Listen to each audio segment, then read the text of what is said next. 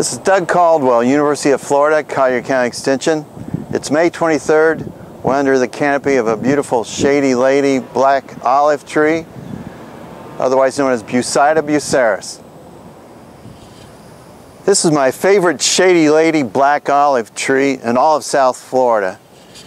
This species has a unique form, probably no other tree has it, that you can use a horizontal, fine textured combination from one species. This tree is also planted in a great location so it can sprawl out and show its true character. The other thing I like about this tree is the branching. You've got these gnarly branches growing the wrong way at right angles, crossing branches, which should have been taken care of earlier, but it still holds together really well.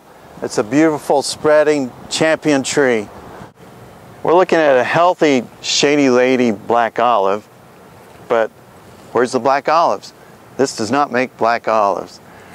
You can see the fruits dry, little flask-like shaped. Not anything I'd want on my salad. We have samples from several Bucida trees. On my left is the Shady Lady, where the leaves are closer together. You can see the nice whorl that they emerge from. On my right, another Bucida.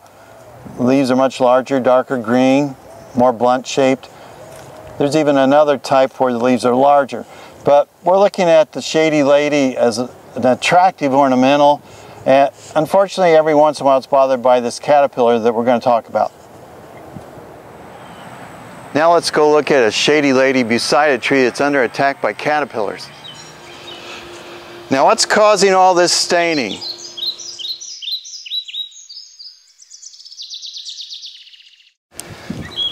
We have two Bucida trees here beside one another. Here's one that has no staining. Here's one with severe staining. So if you look at the sidewalk, no staining, severe staining. Why is that? Let's take a look in the canopies. The one to my right, there's no galls. The one to the left, severe galling. The string bean galls caused by a tiny eriophyid mite.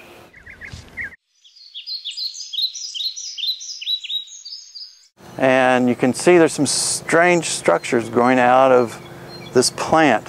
They look like string beans. These are galls that originate from the flower or the fruit. And these are caused by tiny little mites called eriophyid mites. These mites are so small you could probably put 30 to 50 of them on the head of a pin. But they attack the flower when it's real small and they deform its growth. So you can see You've got some straight, some curly. They go from four to six inches in length. And what happens next is a little known fact, but the Bucida caterpillar moves into these galls and goes from an external feeding type caterpillar into a boring type caterpillar. It feeds inside these galls and causes a lot of frass which drops from the tree and causes a stain on the sidewalks. We've opened up one of these string bean galls and you can see the great accumulation of frass inside. And here's one of the caterpillars. And he's running for uh, high ground. The second generation moth of the caterpillar lays its eggs on the gall and the caterpillars tunnel into the galls. They're a borer inside the galls. It's the frass that's inside the galls raining down on the sidewalk that causes the staining. No galls, no staining. Galls, staining. There's a stark difference in some of these tree canopies and the amount of damage. This one tree is 50% browned out, the tree behind it, they're just starting or else it's a light population on the, on the top and the tips of the branches. And then over here on the right, they're just uh, pretty much gone, 100% brown and defoliating severely.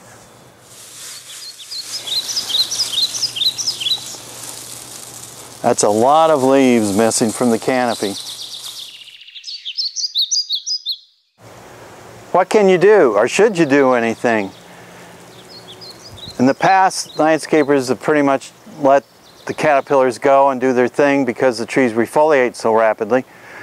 If you have a staining issue, complaints about caterpillars dangling in people's faces, and you want to make a pesticide application, your window of control is when the trees are in flower. And that's when the caterpillars are small and feeding on the petals of the tiny flowers. That's when you would make your application. I've not seen bees flower around these flowers, so spraying should not be issue with bees. Products you could choose from include some soft pesticides such as BT, which is specifically for caterpillars, or another product called spinosad, again, which is primarily for caterpillars. Or if you want to go with a little harsher chemical, it gives you more residue. One of the synthetic pyrethroids, uh, such as bifenthrin, would be a good choice as well.